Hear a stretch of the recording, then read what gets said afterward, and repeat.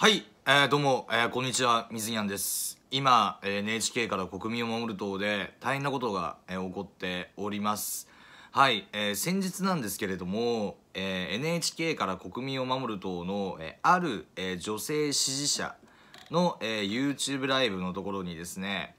えー遠藤真一、えー NHK から国民を守る党の、えー宇都宮市議会議員がですねあるコメントを書いてたんです。でそのコメントが、えー、ジア塩素酸ナトリウムと、えークエン酸溶液を活性化させると二酸化塩素水になりますと。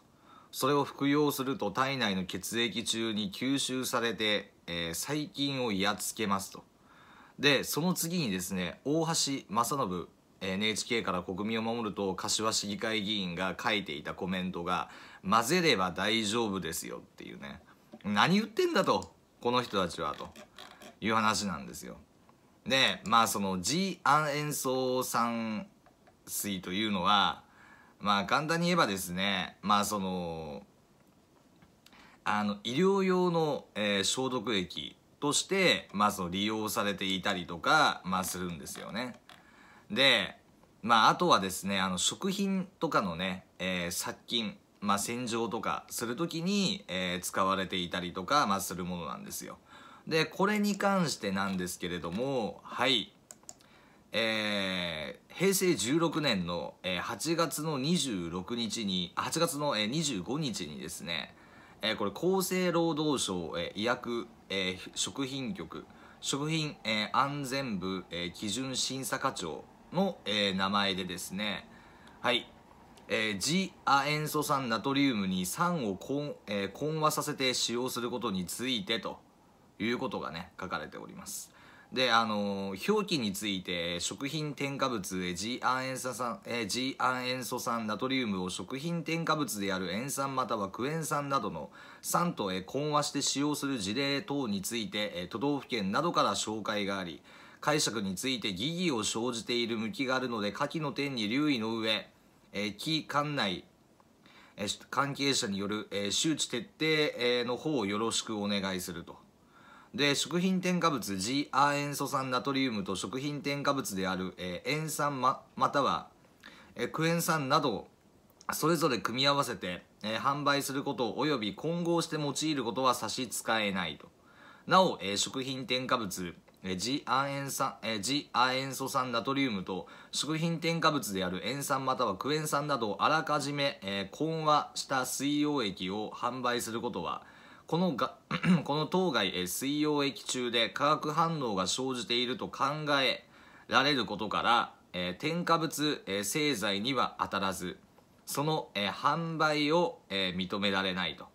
いうことその販売認められないということですね。でまたえー平成11年、えー6月25日、えー、映画、えー第31号、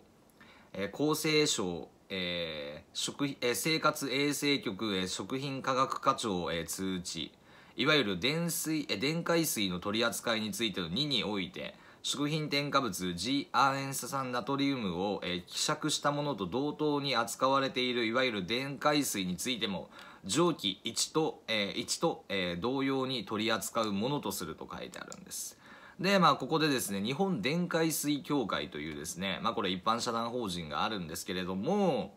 はい。で、えーそちらに、えーよりますとですね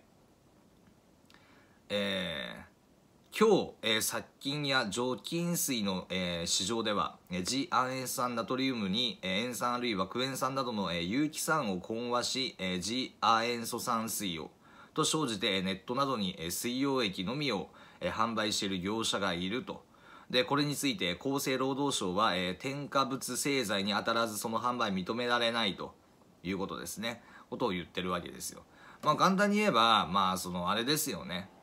えー、まあ G まああの G 亜塩素酸水、えーこれですね。まあ効果があるないなしに飲むなという話なんですよ。飲むなという話。だから例えばですけどよ。例えばですけどね。まあそのまあ、どういう場合にこう使うのかっていうとね、まあ、例えば調理器具を殺菌したりとか、まあ、トイレのそのドアノブとか便座とかその衣類衣類などをね、まあ、その消毒したりとかする時ですよ。でこれもうなんかあのめちゃくちゃ薄めないとこれ使っちゃいけないんですよね。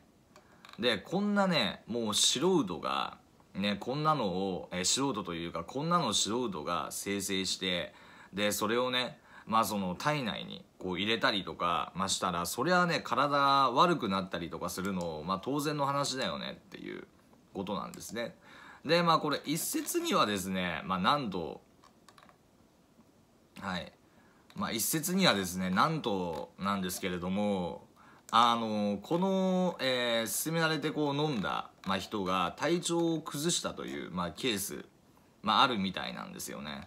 で本当にねこれねあの気をつけてください。マジで。あの本当にねこれね気をつけてほしいなとね思うわけですよ。であのまあ実際あのこれね、えー、どの程度のその濃度ねどの程度のその濃度のまあその飲んでるかどうかわからない。どの程度の濃度にま希釈してこう飲んでるかどうかわからないけどでもこれは飲むものじゃないですからね。じゃあ飲んでじゃあその体内でじゃあ殺菌できるかってできませんから。普通に考えて。できないですから。ね。まあよくだからあのさまあいっぱいあるわけですよ。世の中にはね。まあその空間除菌の商品とかが最近まあ売れてるみたいだけど、まあ、これもね消費者庁に怒られたりとか、まあ、してるみたいなんですよね。でまあ世の中でこう出回ってるこの手のものはまあそのね効果があるかどうかっていうのはあんまりあのねわからないわけですよ。うん。わからないのにねあのこういう危ないものをね安易にこう市議会議員がねこう宣伝しちゃう進めちゃうっていうのはこれやばいなってかあの本当にねあのリテラシー能力がマジで欠けちゃってるわけですよ。ね。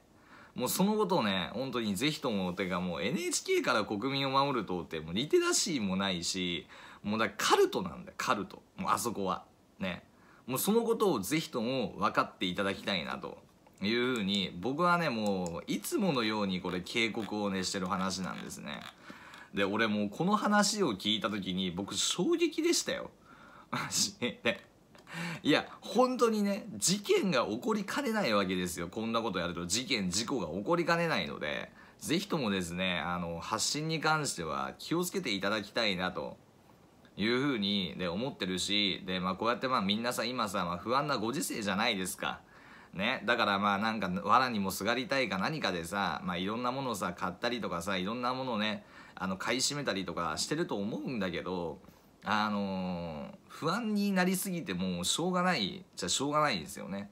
まあ、だからこうできることってすごく僕らができることってこう限られてるしでまあいろんなねものがねなんかそのね、え、なんかウイルスに効くんだよみたいなことを言ってで流通されたりとかしてるけれどもあのちゃんとねこう医学的なそのエビデンスがはっきりしたものねをちゃんとねあの服用したりとかすることが、え、とても大事なんじゃないかなというふうにですねあの私は、えー、思ってるしでこれからもですね発信し続けていきたいなと。思いますやっぱり世の中まあいろいろ情報がね、まあ、混雑してるとか混乱してるということだったりとかするのでぜひとも本当にね、まあ、皆様情報にはあのぜひとも、えー、気をつけていただきたいなというふうに思ってますだから僕自身もですね、まあ、Twitter でいろいろ発信してるんですけれどもやっぱある程度エビデンスがしっかりしたものをね、えー、のみを、まあ、Twitter で、まあ、発信するように、えー、してるんですよね。